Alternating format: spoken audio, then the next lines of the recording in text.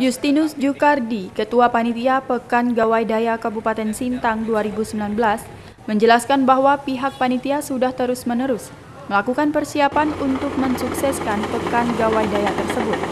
Dalam arti, panitia sudah bekerja untuk persiapan ini. Masing-masing seksi juga sudah mulai kerja dan menjalankan tugas.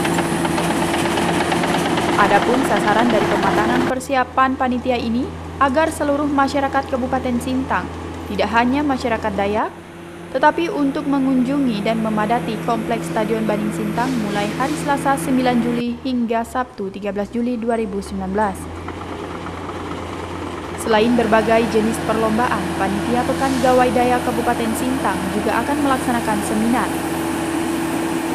Ada yang berbeda pada Pekan Gawai Daya ke-8 tahun 2019 ini, di mana pada kegiatan Pekan Gawai Daya tersebut, Panitia menggunakan dua lokasi, yaitu lokasi pertama di Kompleks Stadion Baning Sintang, di mana panggung utama ada di depan gedung indoor Apang Semangai.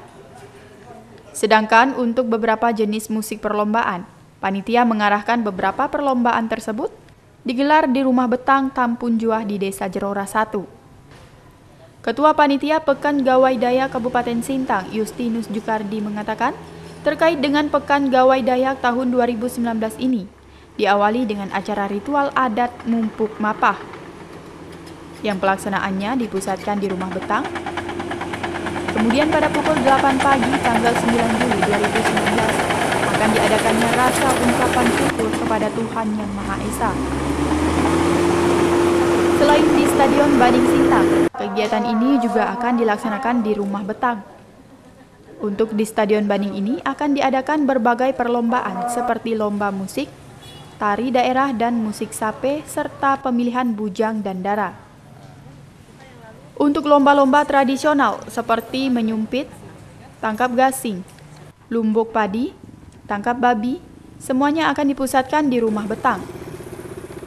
Justinus juga mengatakan, pada momen Pekan Gawai Dayak ke-8 ini, kita ingin memunculkan aura keberadaan rumah betang sehingga ada rasa semangat dan kebersamaan masyarakat Dayak sesuai dengan tema Pekan Gawai Dayak tahun ini, Dayak Bersatu, Dayak Maju, dan Dayak Bisa Maju. Pekan Pekan Gawai tahun ini memang kita awali dengan acara ritual adat Mupu Papah tanggal 8 sore. Nah ini kemungkinan Pak Wakil Padi dan Ibu Sekda akan hadir. Kita pusatkan di rumah betang tapi dekat pinggir sungai Sungai Jemela. Nah kemudian tanggal 9 itu kita ada ya tentu bentuk wujud syukur kita juga mohon doa perlindungan daripada Tuhan maka ada bisa syukur yang kita lakukan jam 8 pagi lalu jam 8 jam 10, jam 10 baru dibuka. Nah, semua kegiatan-kegiatan bukan gawe kita pusatkan selain di stadion ada juga di rumah makan.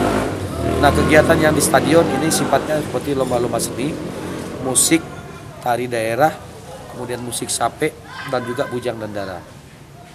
Nah, lomba-lomba tradisional seperti menyumpit, pangkat gasing, numbuk padi, tangkap babi, hanya mani masik, masak kuliner, semuanya kita pusatkan di rumah betang. Ini dengan tujuan supaya apa? Walaupun rumah betang kita belum jadi ya sekitar 80-90%, tapi ingin kita me mengeluarkan auranya dulu. Bahwa rumah betang, rumah Dayak sudah ada, walaupun belum jadi. Tapi kita ingin memunculkan itu dulu. Nah sehingga ada semangat kebersamaan, ada semangat persatuan daripada masyarakat Dayak dengan adanya rumah betang sesuai dengan tema kami Dayak bersatu, Dayak maju dan Dayak bisa maju dan bermartabat itu. Ini yang tujuannya. Jadi ada kita pusatkan di stadion dan juga di rumah betang. Rumah betang di mana? Lukman, Sintang TV melaporkan.